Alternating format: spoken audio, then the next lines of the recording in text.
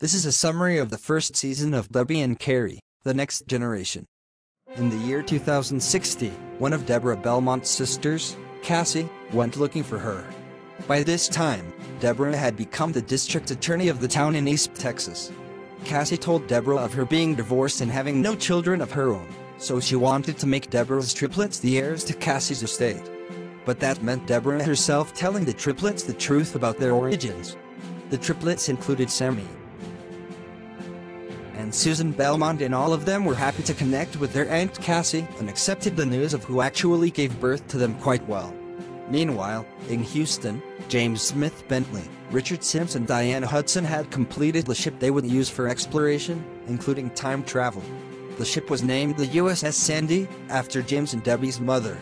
The crew members of the ship would include James, his sister Debbie, Debbie's wife Carrie, their son Richard, Richard's wife Diana, Janet Wilson, and the robot that James had built when he was in high school. So in May of 2060, the ship was launched and went on its first trip, not in space, but in time. 100,000 years in the past. But Richard would later report to his uncle that the long-time trip burned out the time travel device, stranding the ship in the past until it could be repaired.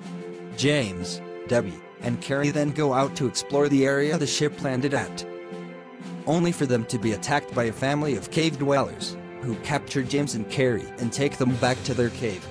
The leader of the cave people identifies himself as Grlock and demands to know why James and the others have come to their territory.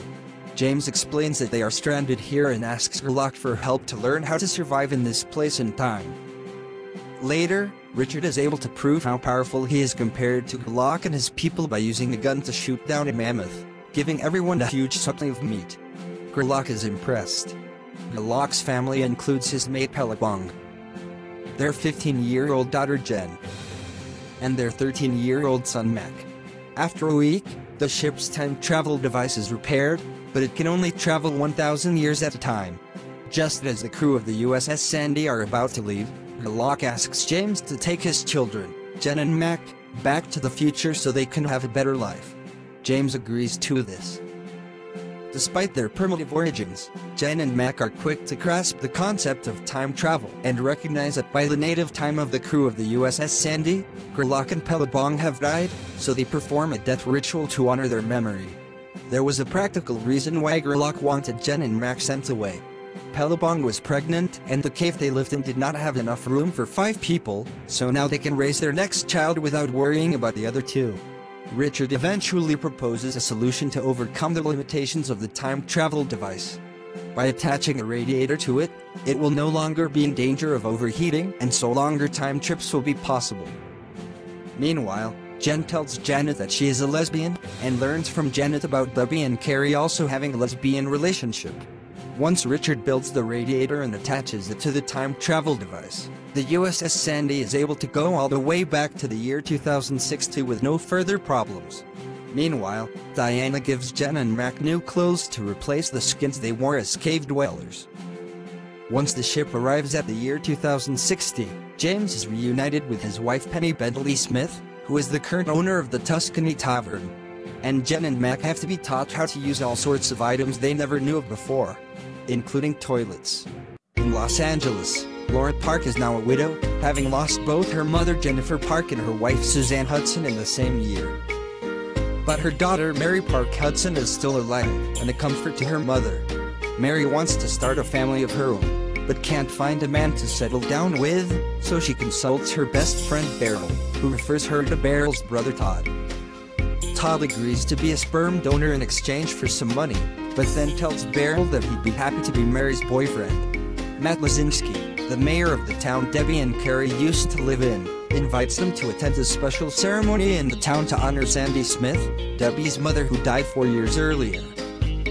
Debbie and Carrie agreed to go, despite Debbie remembering the bitter end of their friendship with Kelly Grimm many years earlier due to the conflict between Debbie and Lazinski, Kelly's husband.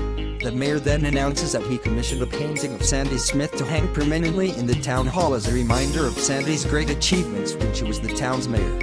The painting was actually made by Carrie Sims after Mayor Lazinski and Kelly Grimm offered her $10,000 for it. As a result, Debbie and Kelly reconcile once Kelly apologizes for the hurtful things she once said about Debbie on social media. As a sign of that reconciliation, Debbie takes Kelly to Tulsa to visit Sandy's grave, since Kelly didn't attend Sandy's funeral. Richard, Diana, James and Debbie later discuss taking another time trip, to the year 1990. When Sandy Smith was a teenager, Jen and Mac are also brought along for the trip.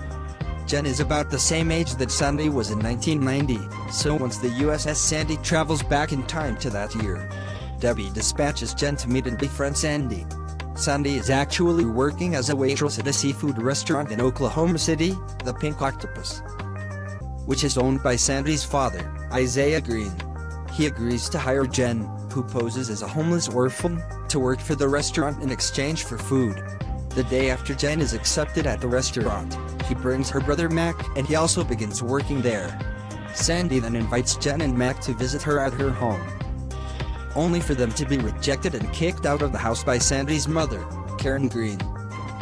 Much to Sandy's own shock and disappointment. Jen and Mac then report how they were treated to Debbie and James. Karen scolds her husband for being willing to hire homeless kids to work at his place while Sandy has to deal with her former high school rival Jennifer Calley, who in the future will be the mother of Diana and Denise Calley. The next day, Jennifer Calley shows up at the Pink Octopus. Sandy refuses to serve her and sends Jen to do it instead. Jen finds Jennifer Calley's attitude to be just as offensive as Karen Green's was. Later, Sandy and Jen have a talk about religion in which Jen says she knows nothing about Jesus, so Sandy offers to teach her lessons from the Bible. Debbie tells Jen about a disturbing story in the Bible that depicts an act of genocide, Numbers chapter 31. The next day, Jen shares that story with Sandy, who is shocked and she begins to wonder what other horrible things may be in the Bible that she was never told about before. Jen and Mac return to the USS Sandy and then the ship returns to the year 2060. Upon returning home, the crew of the USS Sandy are saddened to learn from Carrie that Lucy Sims has died. So Jessica is now a widow and soon she is removed from the nursing home she shared with Lucy and then sent to the Smith-Wilson mansion to live with her daughter Vicky.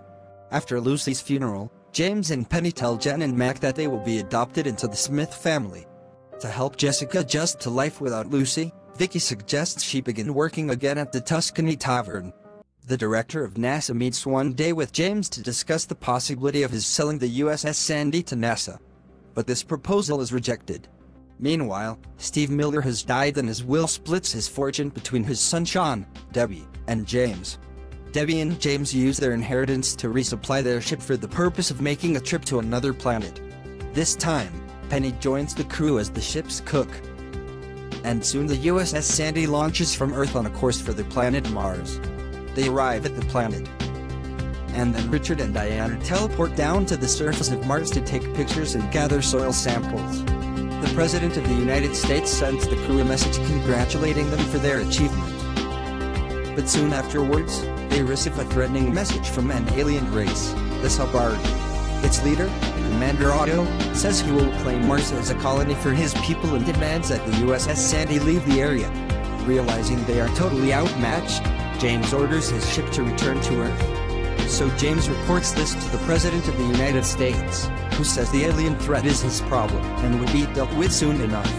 And so ends the first season of Debbie and Carrie, The Next Generation.